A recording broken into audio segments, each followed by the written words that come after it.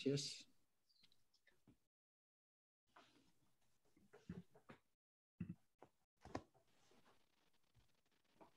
¿Qué tal? ¿Cómo están ustedes? Bienvenidos a una nueva emisión de El Ágora TV.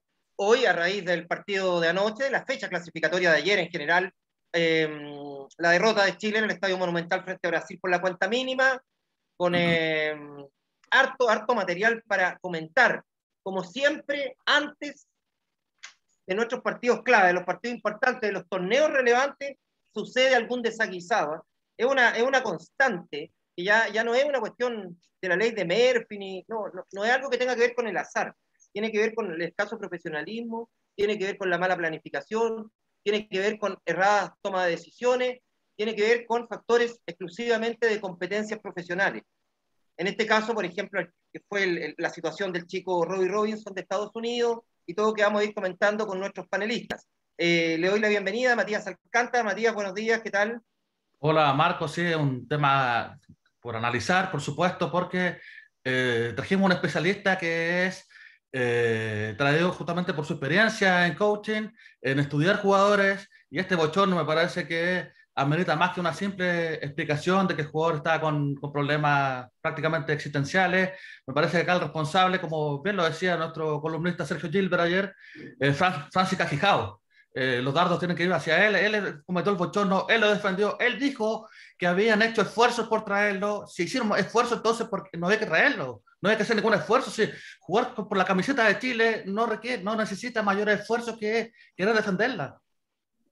Bueno, eh, esto lo estamos ligando, vamos a ir linkeando algunos tips, porque se trae a, Bre eh, a Robinson desde Estados Unidos, Daniel, porque nos faltan delanteros, y eso está claro que nos faltan delanteros, no tenemos capacidad de juego, nos diluimos en el último cuarto de cancha, etcétera, etcétera. Entonces, a buscar Estados Unidos. Entonces, todo va sumando, ¿verdad?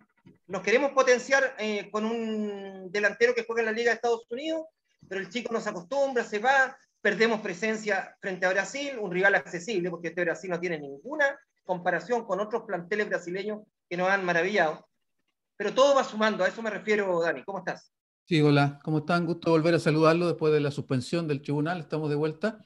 Yo creo que parto de la base que Brasil, en cualquier condición, aunque sea un equipo tan indiferente como el de ayer, tan deslavado, tan relajado, tan poco aplicado, nos va a ganar igual.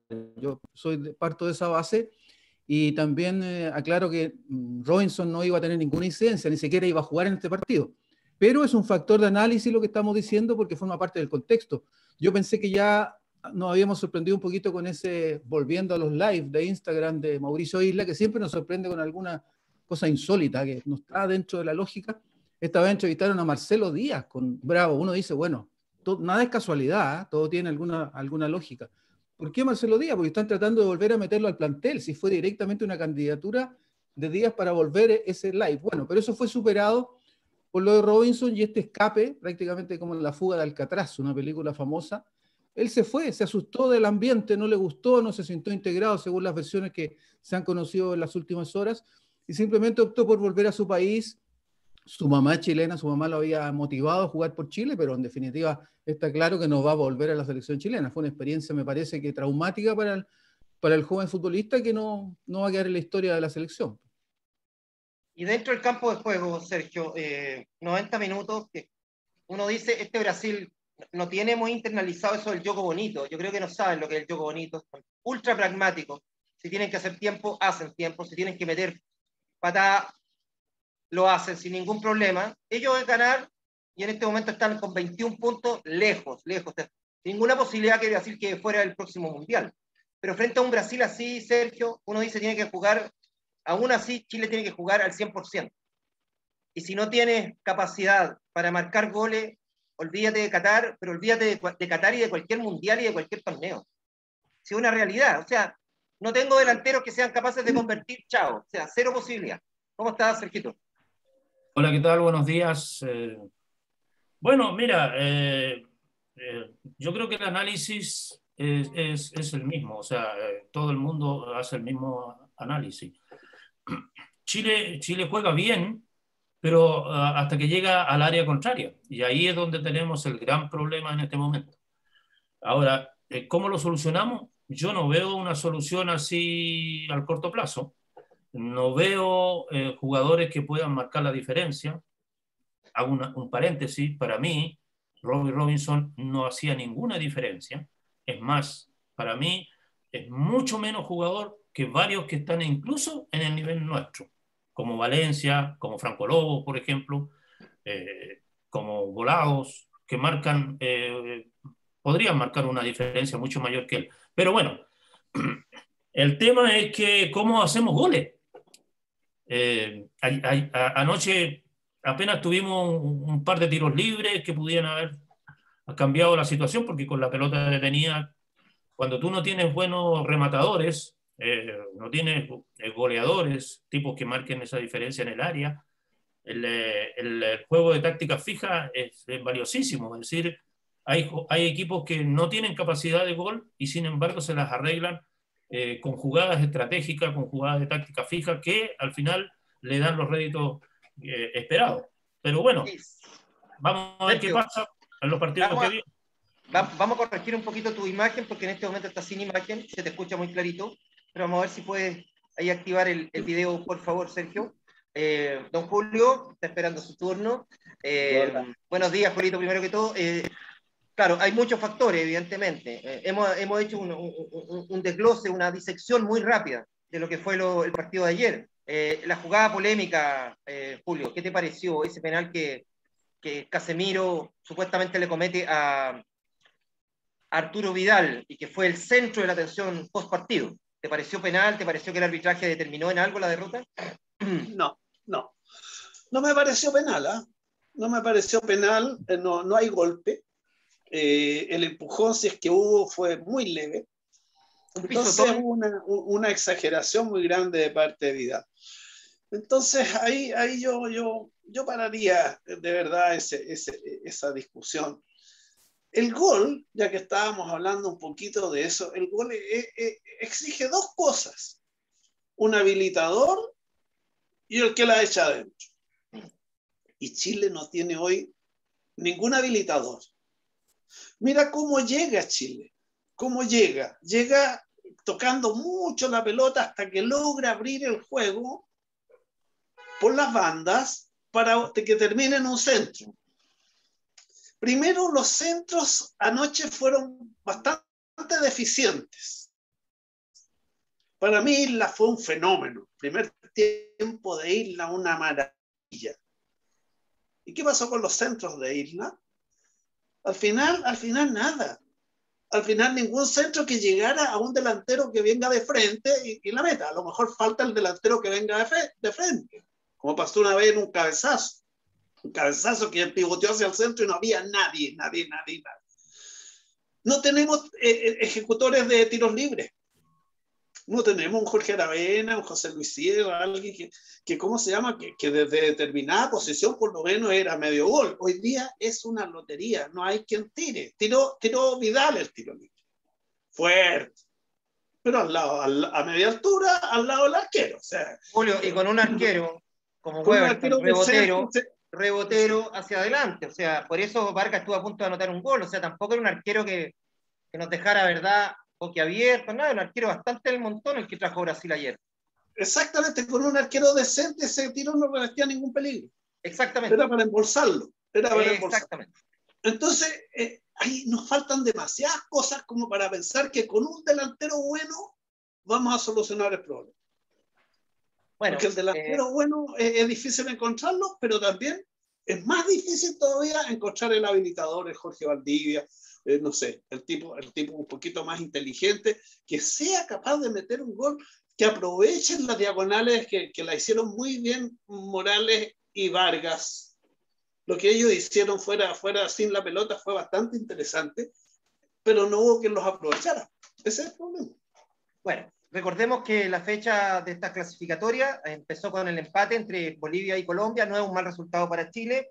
Hubiese sido mejor que Bolivia le ganara, pero bueno, eh, le quitó dos puntos a Colombia, que es rival directo nuestro, luego Ecuador le gana a Paraguay, eh, Uruguay y Perú empatan, que también es un resultado interesante para nosotros, y a la Argentina le ganó con absoluta autoridad a Venezuela por 3 a 1. Fíjate que los resultados, Daniel, no, no era una mala combinación si nosotros sumábamos de a 3. Ahora, claro, había que ganar a Brasil y lo que tú quieras. Pero, insisto, este Brasil, y ya lo había demostrado en Copa América, eh, no es un Brasil que a ti te vaya ni te seduce por juego, ni por lucimiento individual, y es un Brasil que yo te diría que es un equipo más, con buenos jugadores, evidentemente, como Neymar, qué sé yo, Casemiro, que te marcan diferencias, pero no es un Brasil inexpugnable o imbatible. Entonces, era la oportunidad. Ahora, en atención a lo que hemos dicho en esta primera ronda de comentarios, no hay generador de fútbol, no hay un especialista que sepa convertir las oportunidades.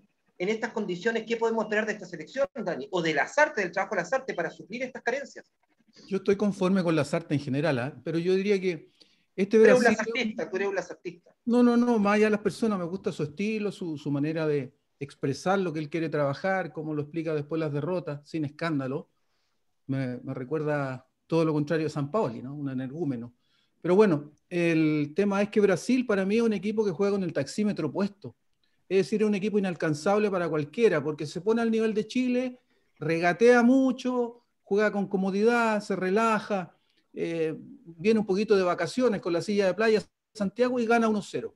Eh, inapelablemente. Yo creo que más allá de la ocasión de Vidal, Chile no tuvo otra, otra oportunidad de anotar. Entonces Brasil, a medida que las exigencias son mayores, sube su nivel y termina aplastando a todos los rivales. Yo creo que ya está ya deberían darle el pase para el Mundial de Qatar. Eso uno. Y lo otro, de lo que usted hablaba, Julio también lo señalaba, de la generación de juego. Yo recuerdo, usted me menciona a, Valdivia, yo recuerdo aún más todavía lo que hacía Fabián Stay, que era tal vez un volante menos talentoso, pero más dinámico que Valdivia. Yo creo que el, Chile juega al ritmo de, Vidal en este momento. Vidal es el hombre que pone la, dinámica de juego. Cuando él anda bien, tira el carro hacia arriba. Ayer en los mejores momentos de Vidal coincidieron con un alza de Chile cuando anda mal Chile se, se achancha, como se dice coloquialmente. Pero ¿qué pasa? Que la energía del equipo, una cuestión física, ya estoy complicando mucho un análisis futbolístico, la energía del equipo se concentra en Vidal. Es decir, Vidal es el foco de atención, es el, es el faro del equipo. Y, neutralizar a un jugador en un equipo es, es, menos, menos complicado. Ahora yo soy positivo en el sentido que creo que es más fácil sacar puntos afuera con lo que viene, buscar los empates, digamos, sacar dos puntos, uno y uno, que ganarle a Brasil jugando en casa. Yo tengo esa, esa hipótesis y ojalá se pueda cumplir porque creo que defensivamente Chile está más capacitado para sacar un, resultado. Sí, lo que pasa es que en otras oportunidades, Dani, a Brasil hemos ganado y es un Brasil mucho más, que mete mucho más miedo que el que vino ayer. O sea, yo recuerdo el 3 a 0, una Costa en la banca, venía Rivaldo, venía Ronaldo, son equipos, selecciones que te generaban, y aún así Chile en, en, determinado momento, tarde en tarde, o sea, no es una constante ganarle a Brasil. El problema es que tú tienes que amalgamar, porque yo no sé si estoy de acuerdo cuando Sergio dice, mira, Chile juega bien, pero es incapaz de convertir. ¿Qué significa jugar bien sin poder de fuego? ¿Qué significa jugar bien sin tener finiquito? Es que juegas bien hasta determinado sector de la cancha. Y en el sector más relevante, donde tienes que marcar diferencias, no sabes jugar o no tienes las herramientas para jugar. Entonces ahí es donde el, promedio de juego, por decirlo de una manera, se viene a pique. Entonces, al final la sumatoria te dice que Chile no juega bien. Porque controlar la pelota y hacerla rotar a 40 metros del área rival da lo mismo. Es francamente irrelevante. Eh, Mati. siempre dio la impresión de que Brasil tenía, tenía controlado el partido, por lo menos era dueño de su propia área, ahí siempre mandó el conjunto brasileño y eh, dejándole la posibilidad a Chile los remates a media distancia, que fue la apuesta en definitiva que generó eh, más peligro y ahí un rebote que se la dejó a Eduardo Vargas que lamentablemente no le pegó, no pudo cabecear bien. En otras circunstancias eso es gol. Ayer eh, lamentablemente le dio la oportunidad al arquero de reaccionar, cuestión que no ocurrió en el gol de Brasil, que Bravo no pudo reaccionar después de haber eh, atajado en primera instancia, pero lo cierto es que me, me, dio la impresión de que Brasil siempre controló el partido y eso es lo más lamentable porque ellos se conformaban con el empate, con el empate se iban, se iban felices los brasileños. Eh, saben que Santiago no es una cancha fácil. En las anteriores clasificatorias perdieron. En el debut de Tite fue la única derrota de Tite en ese proceso y me, me parece que ahora el punto era, era celebrado por los brasileños y por nosotros también. Así que lamentablemente nos quedamos con las manos vacías y con la obligación de rescatar eh, puntos. Ecuador ya, ya se escapó, eh, en determinado momento me parece que también eh, Ecuador no le va a desagradar eh, tanto el, el, empate frente a Chile. Por supuesto que van a buscar el triunfo por la instancia que, que mantiene ante un rival directo, eh, 7 puntos versus 13. Eh, me parece que también podría ser un factor a analizar. Así que Chile va a tener la oportunidad en determinados instantes de ir a buscar el partido y hay que tener cuidado porque la cancha esa es mucho más grande.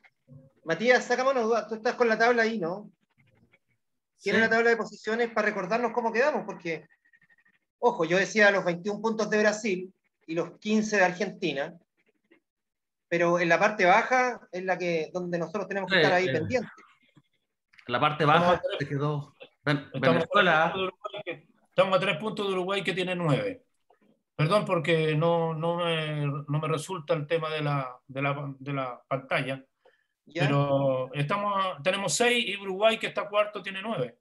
Perú subió a Sí, Perú si nos da la tabla. Sí, está Brasil. No, pero Perú era el colista. Vale, Brasil 21. Brasil 21 puntos, con campaña perfecta, 7 triunfos.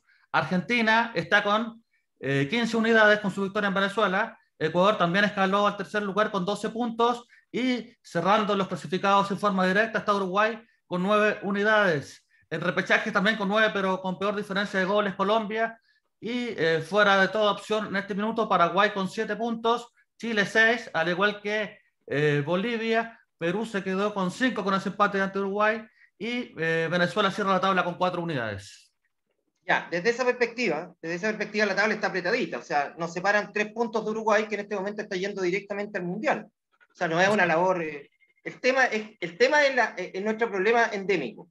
¿Cómo resolvemos estas situaciones jugando en Quito y cómo resolvemos estas situaciones jugando en, en Medellín. Yo comparto con Daniel, a lo mejor esta selección, en atención a los jugadores que tiene, le resulta más cómodo, por decirlo de una manera, defender, sacar, ir a buscar un resultado, olvidarse también, entre comillas, del, arco rival y aguantar un 0 a 0, que ayer los paraguayos, yo no vi el partido, porque era casi al unísono con el partido de Chile, los paraguayos lo sostuvieron hasta casi el minuto ochenta y tanto. Entonces, uno podría pensar que a lo mejor es, pero ¿qué hacemos con el problema que tenemos? Cuando, si los ecuatorianos no llegan a marcar un gol, o los colombianos llegan a marcar un gol, ¿cómo revertimos esa situación? Y esa situación no se revierte con Diego Valdés ni haciendo los cambios que hizo ayer en las artes.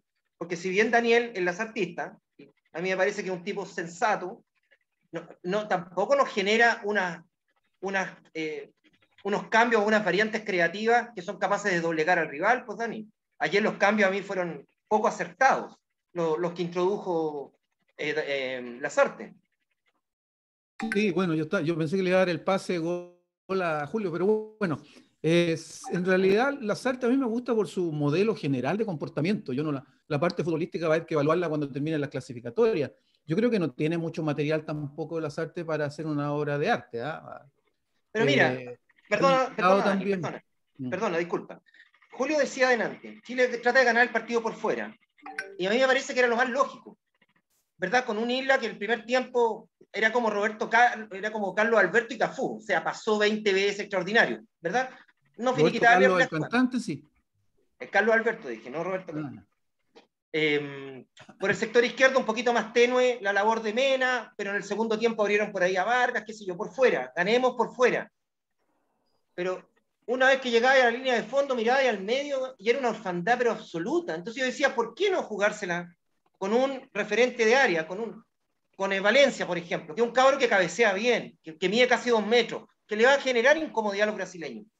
No, lo que hace Puebla el medio campo con Jiménez y con Valdés. Yo digo, ¿por qué Valdés, por ejemplo? ¿Por qué?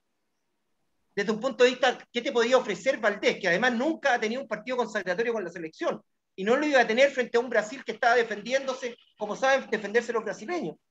Entonces, toda esta sumatoria de cositas, de detalle, al final terminan en que Chile resigna tres unidades. Ahora sí se te ve, Sergio. sí, tuve que entrar de nuevo. Sí.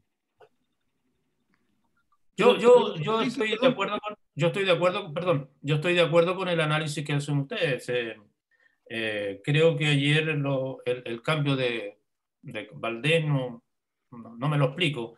Eh, por ahí estaba, era, era más, no sé, eh, buscar un jugador más parecido a las características de, eh, de Charles Arangui, que era el que, el, el que salía, al parecer, Porque, Eh, Recordemos los cambios. Salió Aranguis, eh, entró Palacios por Arangui.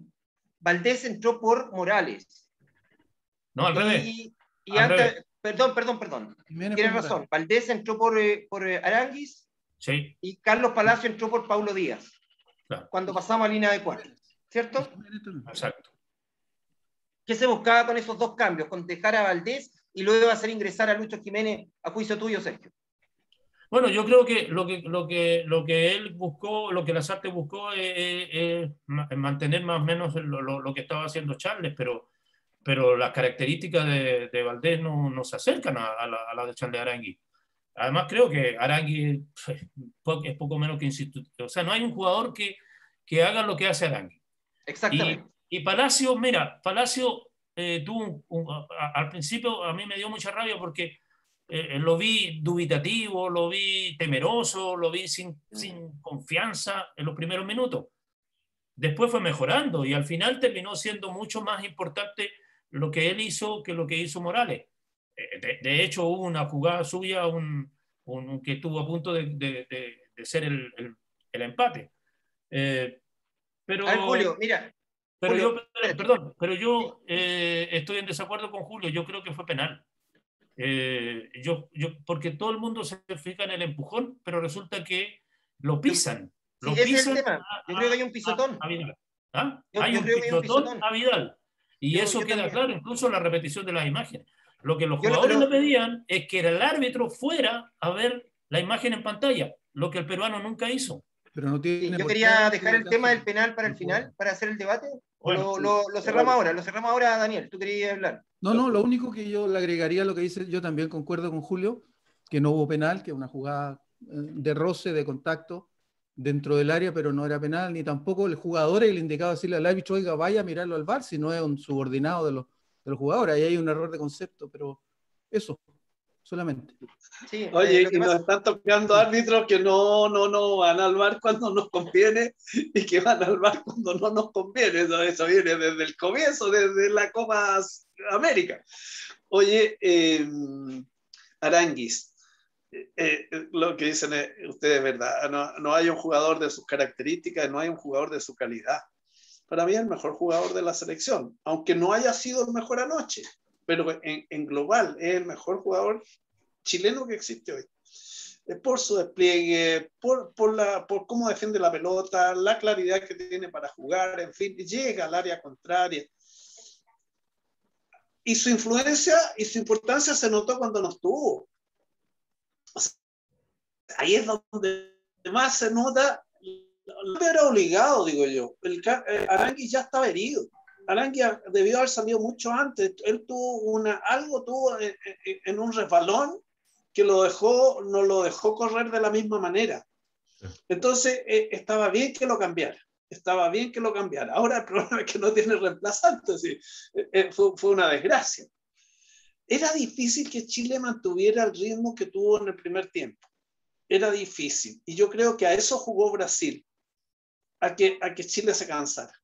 A que Chile se cansara. Y le fue sucediendo. Segundo tiempo, Chile bajó las revoluciones, perdió mucho con Aranguis, eh, ya empiezan a jugar los nervios de, de tener que empatar después de- de- del gol y, y ya no fue el mismo equipo. Indudablemente no fue el mismo equipo. Chile duró 70 minutos, casi, casi diría yo, hasta que salió Arangui. Hasta ahí duró la selección chilena anoche. Estamos en el Ágora TV analizando el partido, la derrota de Chile frente a Brasil. Siempre nos acompaña la Caja de Compensación Los Andes, como ustedes saben, desde 1953 en los hogares de Chile, de todos los chilenos y chilenas, en época de crisis, de pandemia. Afíliate a Caja de Compensación Los Andes. Su página web es cajalosandes.cl y encontrará un montón, un montón de beneficios. Muchachos, eh, a ver, la jugada del penal, hagamos una un rápida encuestita para Julio y para Daniel, no fue penal, para Sergio fue penal, para ti Matías. Hace, hace 10 años no es penal, pero hoy día como tenemos el apoyo de la tecnología, me parece que perfectamente era una jugada para consultarla y para sancionarla. Yo estoy de acuerdo, yo creo que hay un pisotón a- de Casemiro a, a Vidal. Creo que ahí es donde se radica la jugada y la legitimidad, digamos, o la, la poca legitimidad del cobro del, del peruano. Ahora, Dani dice, los jugadores no tienen que forzar al juez a ir al VAR. estoy de acuerdo. Pero Chile, Chile en el último tiempo, en el último tiempo no hemos visto afectado por decisiones arbitrales. O sea, lo que pasó en Uruguay por clasificatoria, la mano escandalosa de Jiménez. un penal en el partido en Copa América frente al propio Brasil. A Charlie Arangui lo enganchan cuando va a rematar. Son detalles. Uno, Paraguay. uno, uno, frente a Paraguay. Entonces, eh, Dani, yo creo que el jugador chileno a esta altura está con, está con la epidermis muy sensible y si ve caer a Vidal en los minutos finales en el área, evidentemente la actitud natural va a decirle al juez, por favor, vaya a ver, o no, por favor, le va a decir, creo tata, ándate a la cámara a ver. El, el, yo creo, Marco, que en el querido Marco, como decían antes los colegas de los medios, querido Julio, eh, el tema es que somos un poquito ilusos, un poquito ingenuos nosotros, debiéramos tener un, una interpretación mayor, más profunda de lo que se ve a simple vista. No es despectivo hacia nosotros, sino que porque la tecnología, ¿quién la maneja? El ser humano, ¿no? El hombre. Suponer que la tecnología es para todo este afán democrático que planteó, no sé si Sergio o Matías, que es, de todo, es para todo la, aplicar la tecnología, es ser ingenuo. La tecnología no está en todas partes. El Internet, el computador no lo tienen los niños de las poblaciones más humildes de nuestro país. En el caso del VAR, se aplica la tecnología para los más poderosos. Obviamente, yo estoy de acuerdo con Julio. El, el, VAR se consulta cuando le conviene a lo mejor a Brasil, le conviene a Uruguay, a Argentina, pero Chile está en la franja inferior, entonces seamos realistas en ese sentido, es parte del manejo que ha existido en forma centenaria en el fútbol sudamericano, entonces no, no cambia demasiado, es que porque yo, creamos que yo, tenemos la, la, tecnología al servicio de todas de las elecciones. Sí, pero por ejemplo los bolivianos en San Carlos de Apoquindo forzaron uh, un penal, ¿verdad? O sea, no es que lo habían forzado, fue Mario Maripán en ese remate de Mariano Martín y los bolivianos insistieron, insistieron, el árbitro fue a ver y decretó penal. O sea, no estamos hablando de, de, de una potencia sudamericana ni futbolística, ni dentro fuera de la cancha como Bolivia. Pero para la Conmebol Chile y, y Bolivia somos, son casi lo mismo. La lista roja. ¿Ah? Bueno, el, te, el tema roja. es que acá para tres personas fue penal, para dos colegas no fue penal la jugada, no y penal. esa votación que es cerrada, que es polémica, que no es unánime, Julio, ameritaba que el peruano diera 10 pasos y se acercara a la cámara a ver si era penal o no era penal. Creo. Por sí, último, por sí. un gesto.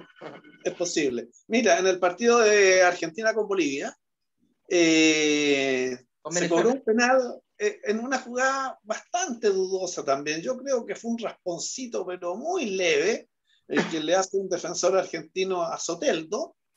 Y, y el VAR le avisa al, al, a, al árbitro de que hay una jugada para revisar. La revisa y da el penal. Pero ¿por qué da el penal? Porque Argentina ya ganaba 3-0 y ah. faltaba un minuto para que terminara el partido.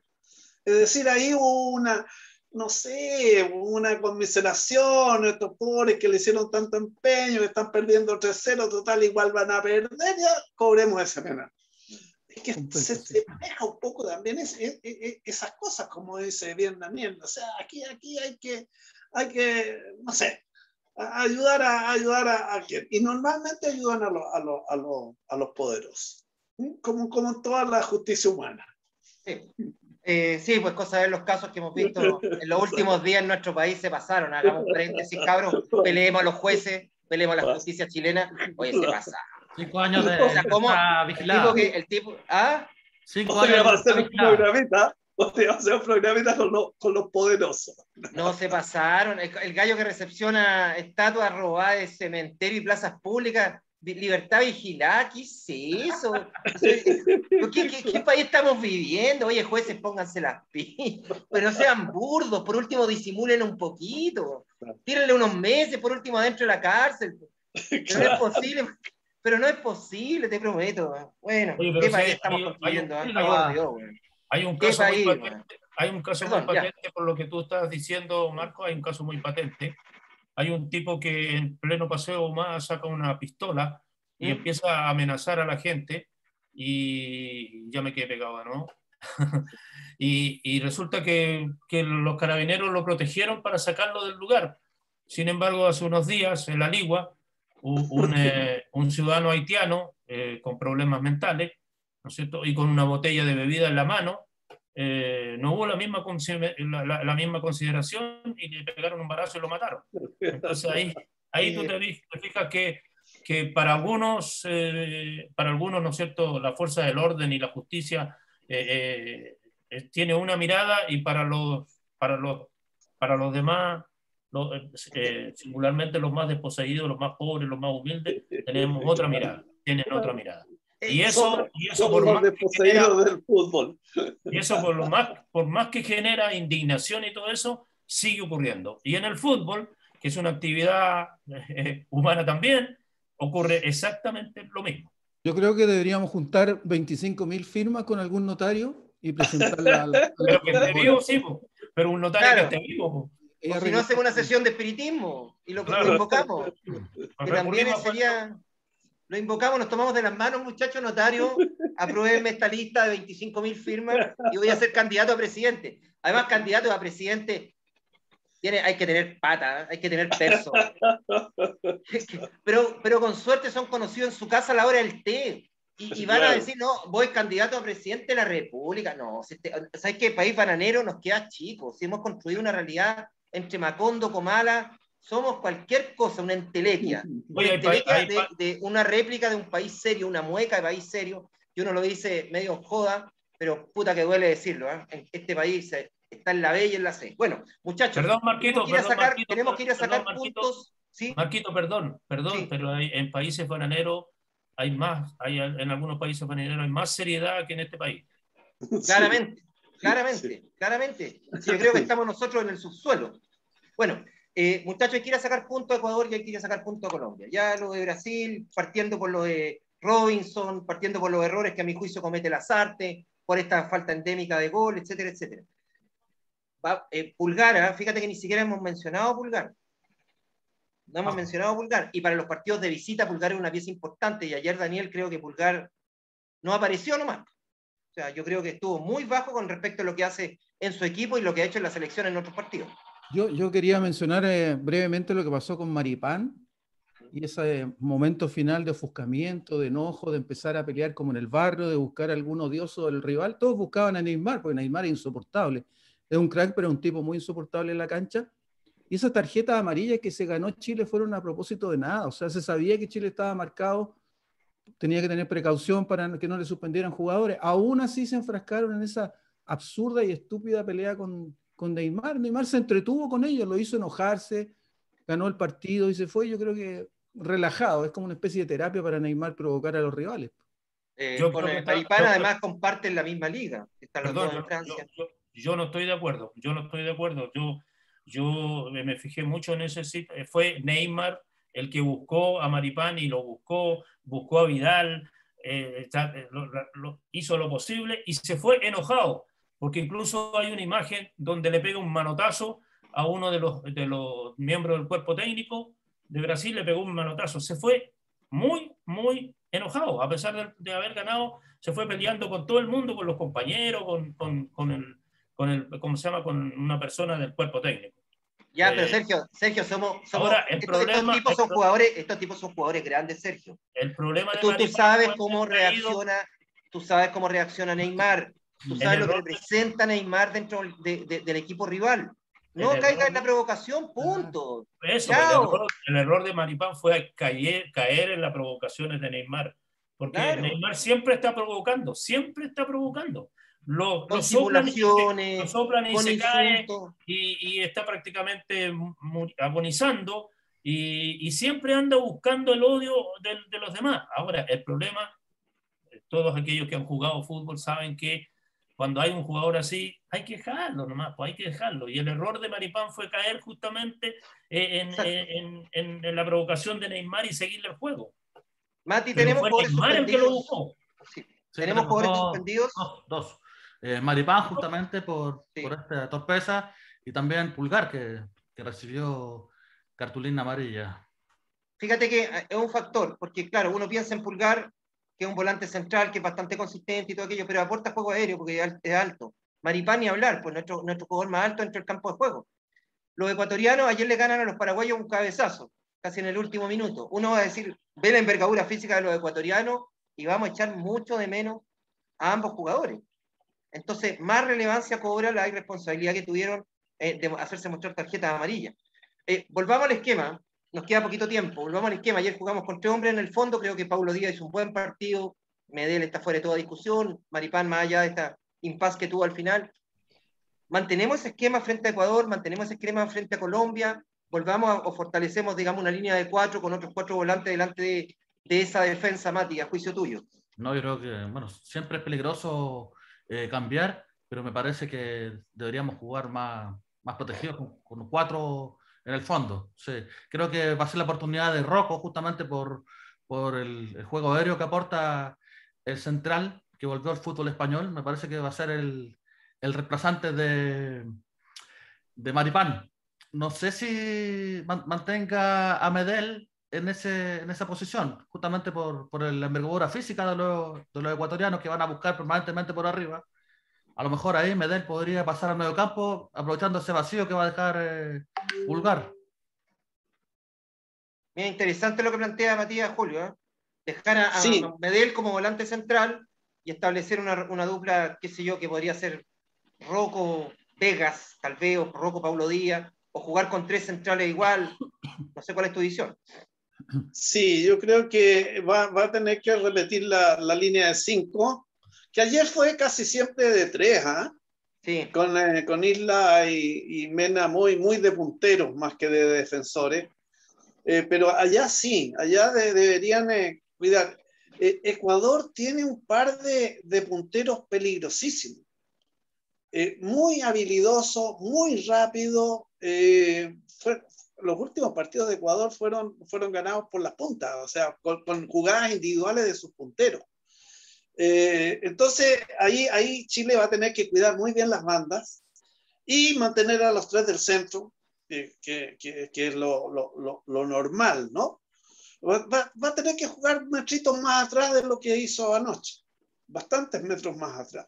Y buscar, y buscar el juego más, más directo nomás, el juego más, eh, más, eh, más de contraataque, más de contraataque. Que no tenemos eh, hombres veloces arriba tampoco, Julio. Sí, no tenemos mucho, Brereton, no, por Vargas ejemplo. está muy bien, ¿eh? Oye, Vargas está muy, muy bien físicamente. Lo que corrió anoche Eduardo Vargas lo rehabilita de hartos partidos que todos queríamos que se fuera de la selección. Le faltó el gol. Y en el gol le faltó, no le faltó, no sé. Le pegó demasiado fuerte a la pelota. Si lo hubiese intentado colocar, era gol seguro. Le dio recto, le dio recto nomás y justo donde estaba el arquero. Si esa, esa, esa fue la suerte del arquero, ¿no? Ya, oye, pero mira, en el programa anterior yo, yo, yo me atreví a decir que Chile probablemente no ganaba ningún punto de los nueve que iba a disputar en esta, en esta jornada triple. Y tengo mucho temor de que suceda eso. Obviamente que con eso, chao Qatar, ¿no? Chao Qatar. Hagamos un equipo, una selección juvenil que se vaya fogueando para el mundial, para el mundial no sé cuándo porque si no vuelve con cuatro puntos, si no vuelve con cuatro puntos, ya se no, el, el panorama queda absolutamente oscuro. Pero si y, no... sacar cuatro puntos, o sea, ganar en Quito hace mucho. nunca. No ha ganado nunca, creo, la selección en Quito. Ya, y en Medellín creo que sacó un par de empates alguna vez y, y tampoco ha ganado nunca. Entonces, esperarlo ahora eh, lo encuentro difícil, lo encuentro problemático. Eh, la realidad, ¿no? ¿Qué, ¿Qué, le vamos a hacer? Pues mala suerte. No tenemos gol y nos quedan en dos jugadas que, que, nunca hemos ganado. ¿Qué podemos esperar? ¿Dos victorias? Difícil. Bueno. Eso sabíamos nosotros en... que esta fecha triple. Perdón, Matías, dime. Sí, con Bielsa se ganó en Barranquilla cuando Chile clasificó a Sudáfrica. Yo creo que eh, lo que dice Julio es muy importante, los cuatro puntos, pero por último dos porque nosotros sumamos uno, pero no se nos escapa a los rivales directos. La derrota significa que, que escala mucho más. Entonces el empate, eh, en ese sentido, tiene valor porque frenamos a los rivales directos. Bueno, eh, yo, le tengo, yo, le, yo, le tengo, más fe eh, al partido con Colombia, porque yo ayer vi, para comentarlo para el Ágora, vi a Ecuador eh, y vi a Colombia. Eh, los colombianos tienen problemas, los mismos problemas, mostraron los mismos problemas que tenemos nosotros eh, en ataque. Jugó, jugó un delantero que es el quinto delantero de, de, de, los colombianos. No están ni Zapata ni Muriel, que son los titulares, que están, eh, están en Italia. Eh, Borja tampoco está todavía en, en muchas condiciones, entonces eh, yo creo que le tengo fe a, eso porque Colombia ayer mostró muchos problemas, muchos problemas especialmente en ataque.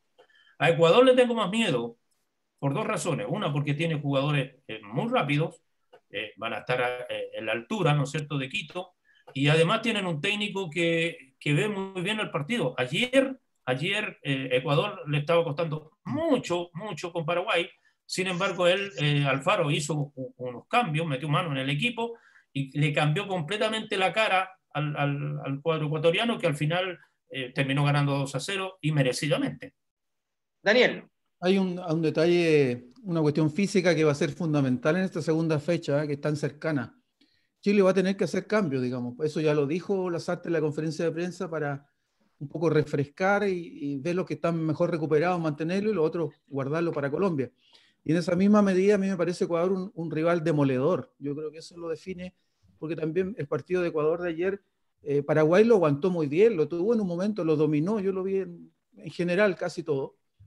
Fue un, dominio persistente de Paraguay, bien sostenido, perdón, de, Ecuador bien sostenido por Paraguay, pero ya después, los últimos finales, es una máquina, o sea, mantiene el mismo nivel físico, tiene jugadores una tremenda capacidad en ese sentido, y lo, liquidó al final, en los últimos dos minutos hizo los dos goles. Entonces, estamos hablando de una, de una diferencia muy grande jugando en la altura especialmente. Y lo otro, coincido con Sergio, me cuesta coincidir con Sergio, creo que estoy, me estoy preocupando, pero que Colombia es el rival más, más abordable en juego. Hay similitud de juego, de estilo, de capacidad, pero creo que Chile puede ir a ganarle a Colombia ya y pensando en que es muy, muy difícil sacar un punto en, en Ecuador. A mí me encantaría ganarle a Colombia por rueda. Yo creo que lo que hizo Rueda es antiético. Yo sé que es reglamentario, es reglamentario, pero es antiético claramente. Dirigir dos selecciones en el mismo proceso. Creo que me, yo creo que moriría feliz si Chile le, le charchetea ahí al, colombiano, ¿verdad?, en su propia casa y le gana con autoridad, cosa que es muy difícil por una cuestión futbolística. Pero eh, me quedo con lo que dijo Julio delante. ¿eh? Vamos a ir con tres hombres en el fondo, con dos laterales que van a pasar poco, o sea, nos vamos a defender con cinco y seguramente un volante con tensión y al lado otro más, vamos a estar con ocho defendiéndonos contando Bravo, el arco rival nos va a quedar a 100 kilómetros de distancia. Entonces, el problema es ese. Podemos defender, sí. Sostener un 0 a 0 en 90 minutos es jugar de manera defensiva prácticamente perfecta. Y no tener capacidad para atacar, te tiene, te tiene el balón siempre a 15, a 20 metros de tu área y a 100 del, del área rival. Entonces, son partidos tremendamente complicados yo creo que ayer podríamos haber sacado un puntito frente a los brasileños. Tenía esperanza de que Chile empatara anoche, para que no se nos hiciera tan pesada la carga en dos canchas que son súper complicados y frente a rivales directos como son Ecuador y Colombia.